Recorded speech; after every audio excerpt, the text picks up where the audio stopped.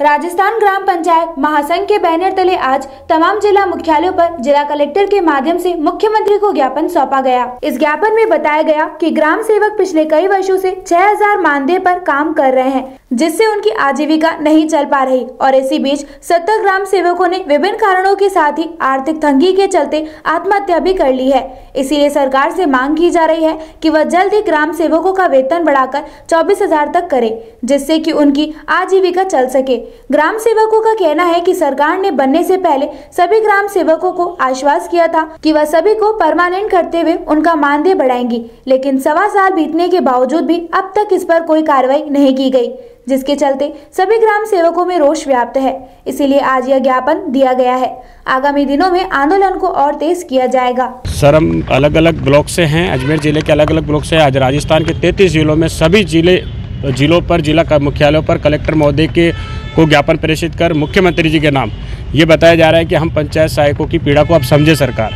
आपने कहा था कि हमारी सरकार बनते ही, हम आपको नियमित करेंगे, लेकिन अभी तक हमारे ऊपर कुछ भी नहीं हुआ है। छः हज़ार मासिक मानदेय में हम अपनी जीविका का जीविका मतलब का निर्वहन कर रहे हैं। लेकिन अब हमारी आर्थिक स्थिति इतनी ख़राब हो चुकी है कि हम बता नहीं सकते। हमारे कई साथी टूट चुके हैं, कई हिम्मत हार चुके हैं, कई आत्महत्या कर चुके अब तक सत्तर कर्मचारी जो पंचायत सहायक है, जो पूर्व में विद्यार्थी में मित्र हैं वो मौत के घाट उतर चुके हैं, आर्थिक तंगी के चलते। लेकिन ये सरकार हमारी बिल्कुल भी नहीं सुन रही है। सरकार आती है, कमेटी बनाती है और कमेटी के नाम पर बस आगे आगे हमको बस इसी तरीके से हमको पाँच साल पूरा करके और चली जाती है। पहले भी ज्ञापन दिया था। पहले भी दिया था इससे पहले भी हम दांडी यात्रा भी निकाली हम दिल्ली भी गए जयपुर भी गए कई बार गए लेकिन अभी तक हमारी किसी प्रकार से सुनवाई नहीं हो रही है। न छः हज़ार मासिक मानदेय और छः हज़ार ही रख रखा है हमारा। आप क्या चाहते हैं आप? हम चाहते हैं हमारा कम से कम न्यूनतम मानदेय चौबीस सात सौ किया जाए। राजस्थान में हमारी संख्या सत्ताईस हज़ार है हमारे दर्द को समझे हमारे पारिवारिक आवश्यकताओं को समझे हमारे घर परिवार किस तरह से पालना है सभी ज़रूरतों को सरकार समझे। हम सरकारी सेवा कर रहे हैं सुबह नौ बजे जाते हैं शाम को छः बजे तक मात्र दो सौ रुपये में कार्य कर रहे हैं।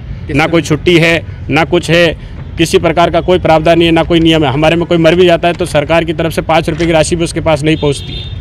किससे मिलने आए किसके नाम ज्ञापन हम कलेक्टर महोदय से मिलने आए हैं। मुख्यमंत्री उप मुख्यमंत्री और बी डी गल्ला जी जो हमारी संविदा कमेटी के अध्यक्ष हैं उनको उनके नाम हम एक ज्ञापन प्रेषित करने आए हैं।